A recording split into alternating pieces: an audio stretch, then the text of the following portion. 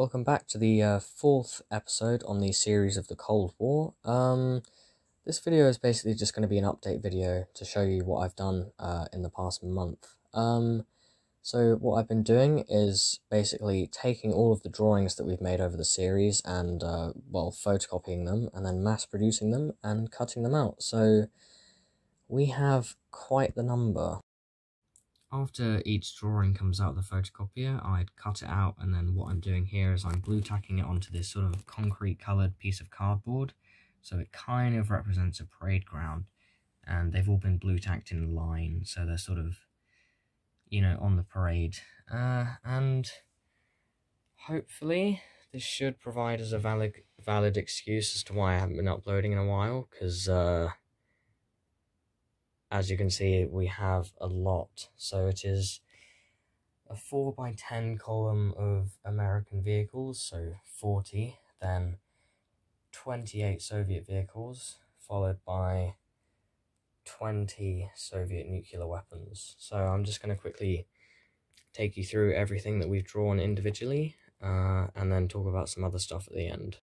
So, starting off on this side, this uh, A2 piece of cardboard, we have the, I guess, Western military. So this is just entirely um, the American vehicles. So we have 10 of the M41 Walker Bulldogs that we drew at the very, very beginning of the series, followed by 10 of these trucks, um, which I actually really like. I really like the detail on them. And then we have 20 of the US uh, Dodge vehicles. So 10 without the canvas and then 10 with the canvas and uh, I think they look really nice with the detail they have.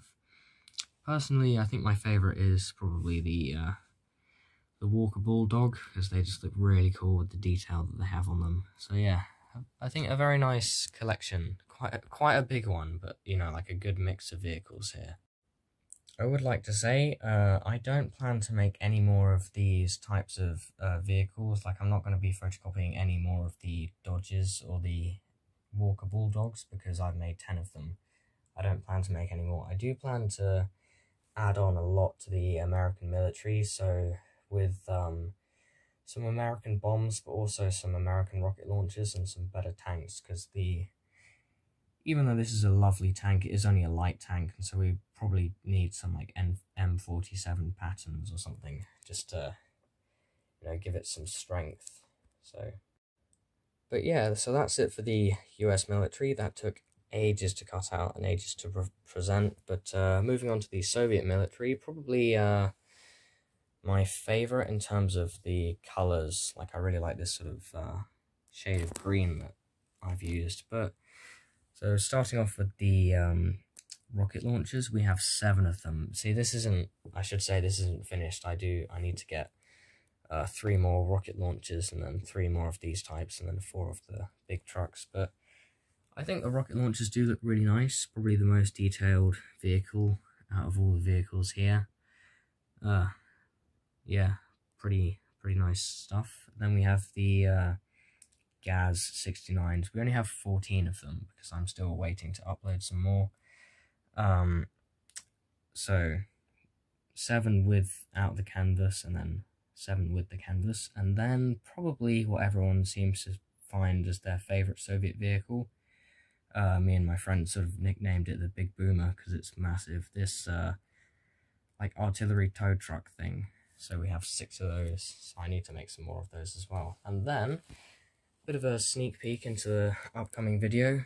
You know, the one everyone voted on. Um, we were given the option either US nuclear weapons or some Soviet tanks and tank destroyers. This is the T-54. I'm going to obviously make a lot more of them. I need an extra nine to go on here. Um, the other vehicles I'm still working on, like I'm currently recording a video on the tank destroyer that we're adding to that video. But yeah, just a nice sneak peek.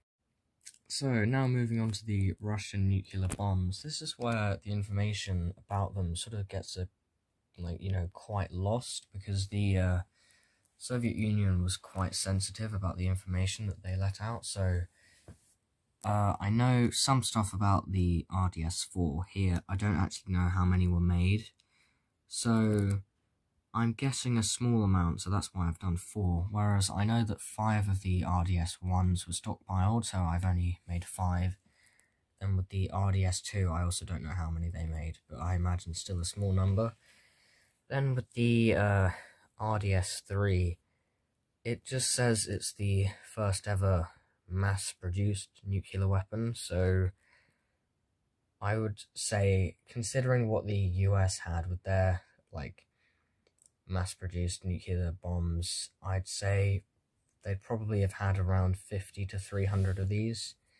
By the way, none of these are actually blue tack down, I just quickly put them on the board because uh, this is mainly just supposed to be for the vehicles, not the actual bombs, but I'm just, they're just there so you can see what's been going on with the uh, nuclear arsenal. Now, the last thing I'd want to talk about, uh, this is called, well, I've called it the motherboard. It's essentially the, um, basically the piece of paper that I use to photocopy all of my stuff. So instead of putting all these individual drawings into the photocopier and photocopying them, I just blue tacked them onto a sheet. So you can just pick the sheet up and put the sheet in the photocopier.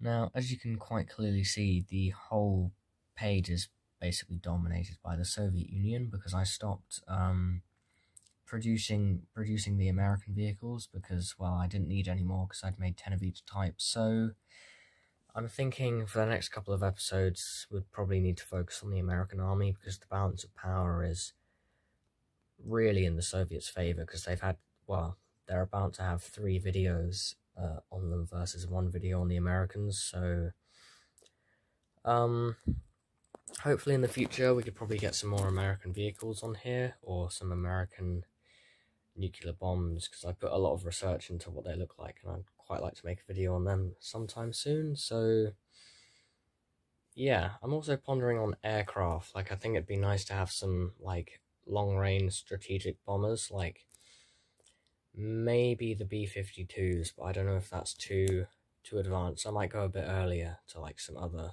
earlier models.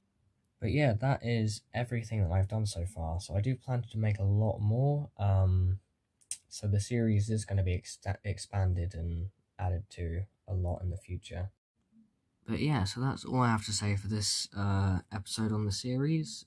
Of course, uh, since we all voted, next episode will be the Soviet tanks and tank destroyer videos.